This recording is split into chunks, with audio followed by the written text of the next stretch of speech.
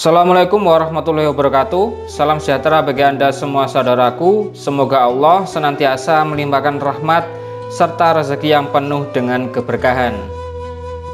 Masjidil Haram adalah tempat yang suci untuk kaum muslim di seluruh dunia.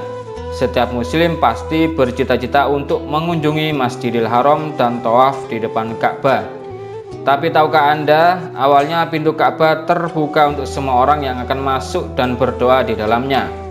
Namun karena jumlah jamaah yang ingin masuk mengalami peningkatan, akhirnya Ka'bah tidak bisa lagi diakses untuk semua orang.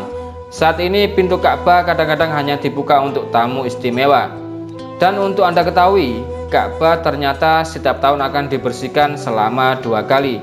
Upacara pembersihan diadakan selama Syakban dan Qa'dah oleh keluarga Al-Saibi. Campuran pembersih khusus dibuat dari air zam-zam Taif air mawar dan minyak oud mahal. Selain itu, Gubernur Mekah juga mengundang beberapa pejabat untuk berpartisipasi dalam upacara tersebut. Dan sungguh beruntung sekali jika kita sedang tawaf, tiba-tiba saja menyaksikan momen saat Ka'bah dibuka, seperti yang dialami oleh jamaah umroh berikut ini. Ketika mereka sedang tawaf, tiba-tiba saja pintu Ka'bah dibuka.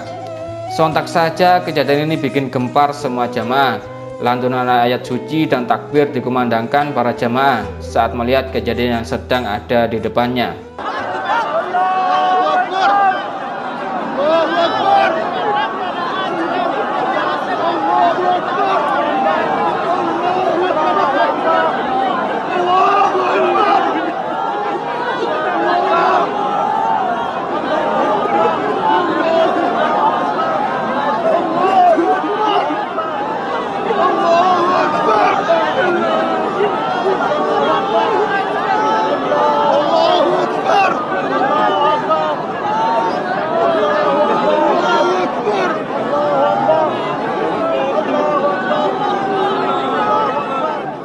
Dan saat masuk ke dalam, ternyata di dalamnya tidak ada benda yang terlihat mewah.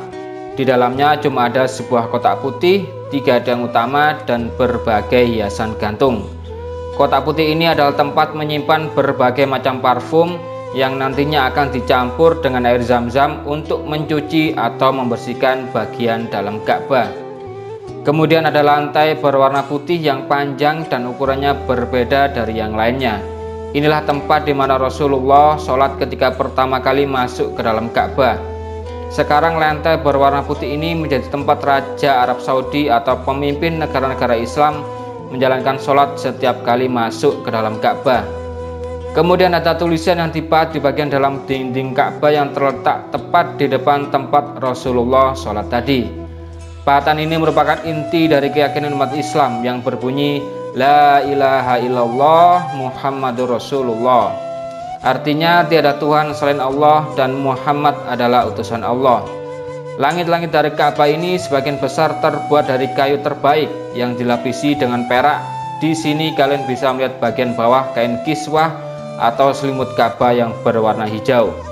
Kalian juga bisa melihat banyak sekali hiasan berisi parfum yang tergantung di dalam Ka'bah. Semua ini adalah hadiah dari para khalifah dan raja-raja Islam sepanjang sejarah. Pintu di bagian dalam ini bukan akses utama untuk masuk ke dalam Ka'bah. Di balik pintu ini ada tangga menuju langit-langit Ka'bah. Terakhir akan terlihat tiga tiang kayu utama yang menjadi penyangga Ka'bah. Tiang ini terbuat dari kayu pilihan dan dilapisi oleh emas. Itulah penjelasan singkat tentang isi Ka'bah yang sebenarnya. Jadi jika ada yang bilang di dalam Ka'bah ada minyak dan emas berarti itu hanyalah hoax yang sengaja disebarkan untuk menjelekkan Islam. Nah saudaraku semoga video ini bermanfaat untuk Anda dan kami doakan agar Anda dimampukan oleh Allah untuk bisa melaksanakan ibadah haji atau umroh dan bisa memperoleh keberkahan selama melaksanakan ibadah haji dan umroh. Terakhir dari kami, semoga Allah senantiasa merahmati kita semua dan senantiasa melimpahkan keberkahannya untuk para penduduk bumi. Wassalamualaikum warahmatullahi wabarakatuh.